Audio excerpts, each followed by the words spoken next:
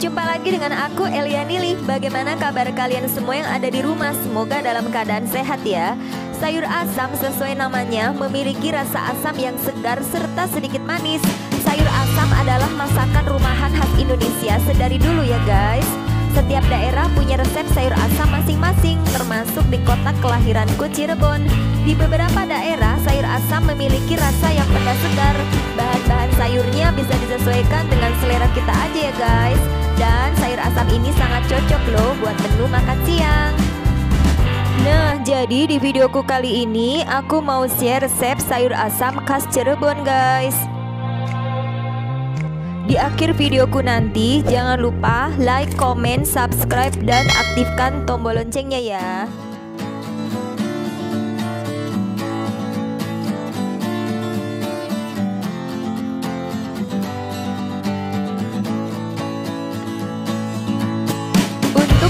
Bisa disimak di sini ya guys.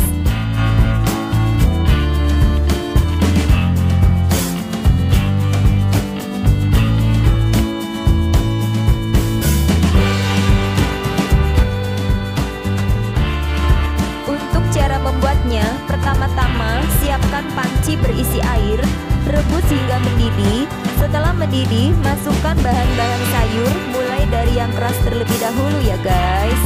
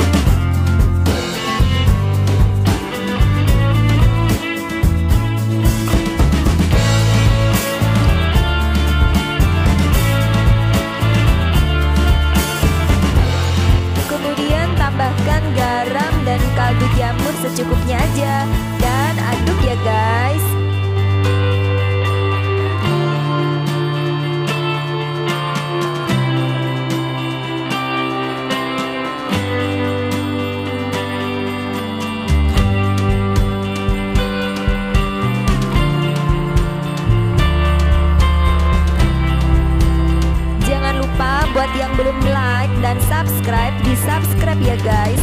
Aktifkan juga tombol loncengnya supaya kalian yang pertama mendapatkan notifikasi video-video terbaru aku lainnya. Buat yang sudah subscribe aku ucap terima kasih ya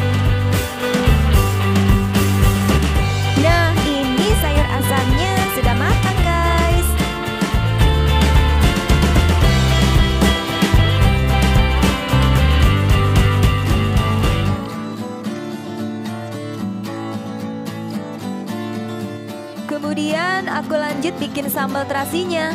Sayur asam tanpa sambal serasa ada yang kurang ya.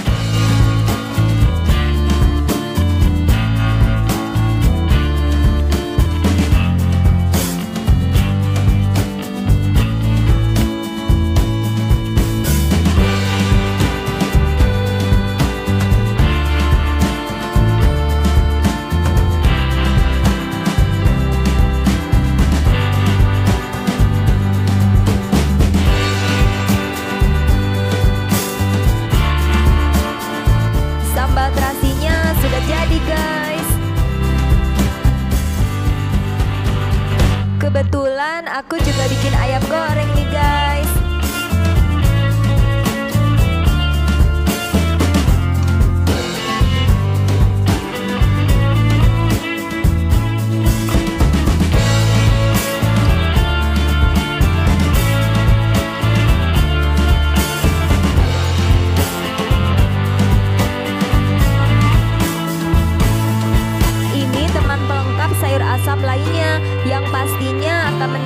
nikmat menu makan siang ya.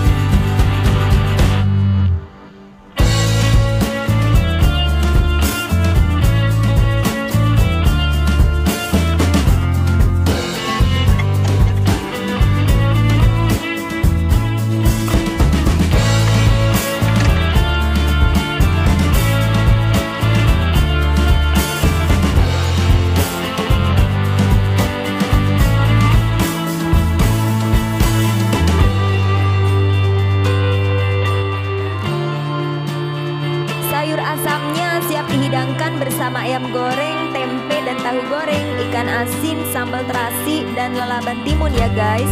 Selamat makan! Makasih ya buat yang sudah menonton videoku ini sampai selesai. Semoga bermanfaat. See you, bye-bye.